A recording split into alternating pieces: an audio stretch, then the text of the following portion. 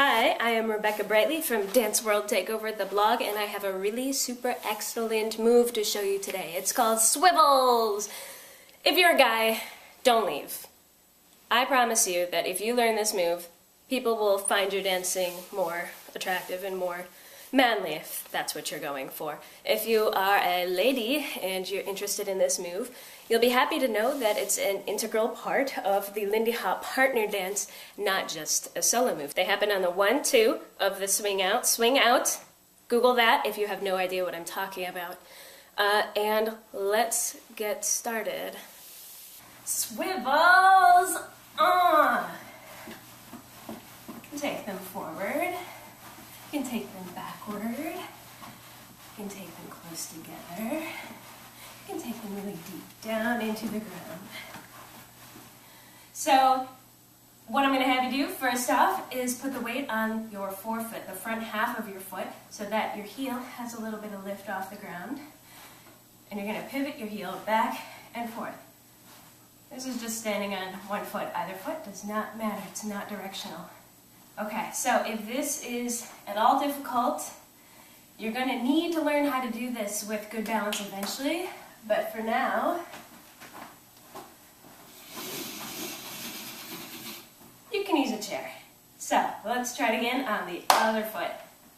Weight on your forefoot, the heel moves back and forth, and you're pivoting on the forefoot, or the ball of your foot. Uh, for swivels, we are going to use the inside pivot. So this way is inside, and this way is outside. Okay, so step the second is you're going to learn to change weight between these two sides. So we're going to start with, uh, how about standing on the right, okay? So you're going to start with your toe pointed towards the outside of your body, the knee bent. This is super duper important to have the knee bent. If you don't have the knee bent, you're doing something completely different. So with the knee bent, you're going to do your pivot with your chair if you need it, and then you're going to switch feet. You do a pivot, and then you switch feet. You do a pivot, and then you switch feet. Pivot, switch feet, pivot, switch feet. Now, this is a part you want to practice a lot before we go on to the next step. Uh, but since this video is only five minutes, I'm going to go ahead and hurry along and do the next step anyways. So here it is. Next step, moving your feet ever so slowly wider apart when you take your steps. So I do my pivot, and then I slightly step to the side. I do my pivot, and I slightly step to the side. Pivot inwards, step to the side, bent knees, pivot inwards, step to the side.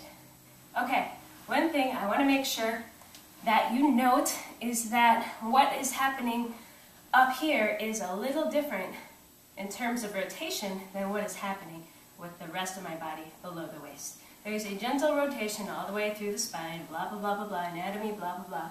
But essentially, it rotates a little extra as we move down the spine.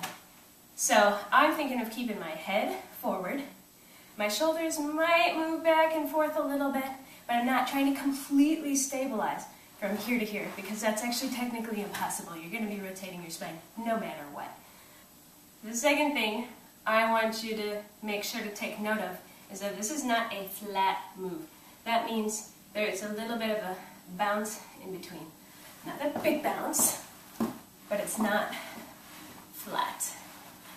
As you shift weight, there should be a natural pulse between each step. And tip number three is, what the hell is this leg doing when you're not standing on it?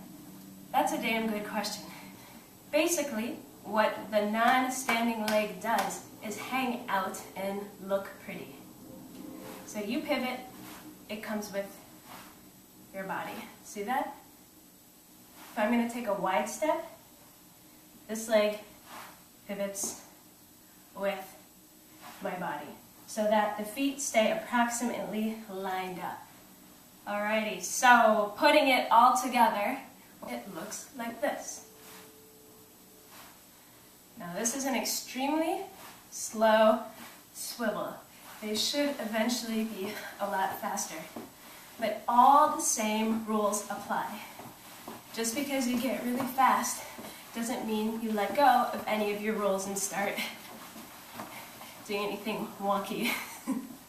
so it takes a lot of practice uh, building it from the ground up, layering on all the pieces as you go along, and it's not so easy as seeing it and then just doing it, at least for most people, and it wasn't for me. So, hope that helped.